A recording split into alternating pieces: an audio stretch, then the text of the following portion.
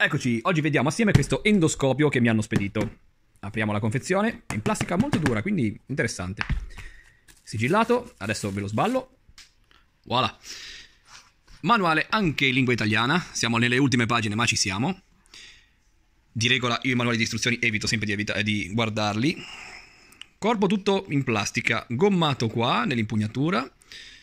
Uh, boh, la qualità sembra proprio appunto plasticosa, però, vediamolo prima acceso. Tasto di accensione qua sopra. Teniamo premuto. Andiamo, sì, lo schermo è abbastanza grande. Ora collego la sonda che ha il suo attacco a vite. Voilà. Ed ecco le immagini.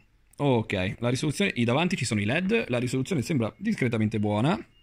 Ora lo proverò meglio. Ho visto che è munito di doppia telecamera, ce n'è una di fianco con un LED e una anteriore con i LED. Questo è molto utile perché quando andiamo dentro dei tubi per dire dello scarico dell'acqua e ci sono delle mh, giunte a 90 gradi o comunque degli sdoppi, possiamo guardare con la telecamera laterale anche dentro appunto agli sdoppi, agli incroci, chiamiamoli come vogliamo. Nel menu, premendo il tasto impostazioni, possiamo scegliere la risoluzione, l'etichetta della data e ovviamente l'impostazione della lingua che ho già messo in italiano, data e ora, formato. Uh, vediamo un po' sul formato che cosa esce fuori. Ah, ok, formatta praticamente, non formato. Vabbè, traduzione un po' fatta come vogliono loro. Impostazioni predefinite, la memoria interna da 32 giga edizione, eventualmente per l'aggiornamento del firmware, impostazione della lingua, eccetera, eccetera. Uh, la proviamo dentro un tubo. Ma prima dimenticavo di farvi vedere come si passa dalla telecamera anteriore a quella laterale, semplicemente tenendo premuto il tasto della fotocamera.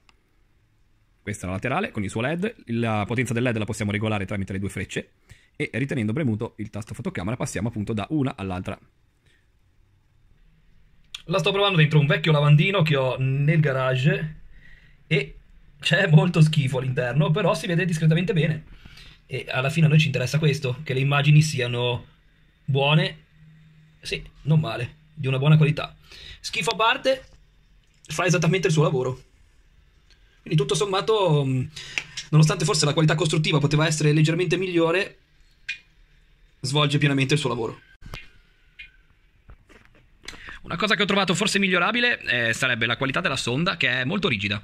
Vedete? È tipo come se fosse del fil di ferro e di conseguenza all'interno delle tubazioni farà molta fatica per fare le curve, quindi bisogna starci attenti. È più adatta per tubi molto grandi di diametro e dove non devono esserci tante curve da percorrere.